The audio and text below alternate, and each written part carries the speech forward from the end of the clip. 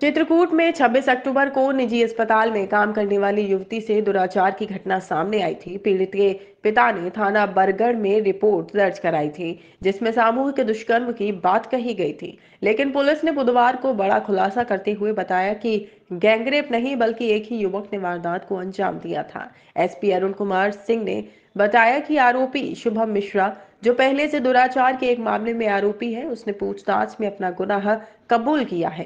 पीड़ित का संघर्ष अकेले किया। दुराचार पुलिस अधीक्षक अरुण कुमार सिंह ने जानकारी दी कि आरोपी शुभम ने ये वारदात अकेले की। बरगढ़ में 26 अक्टूबर को एक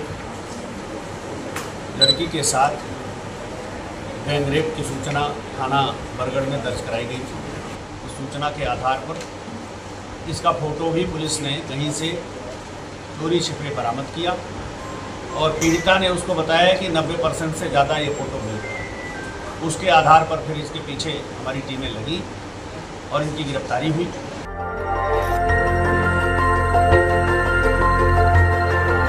देखते रहिए डीबी भारती समाचार, नज़र हर खबर पर।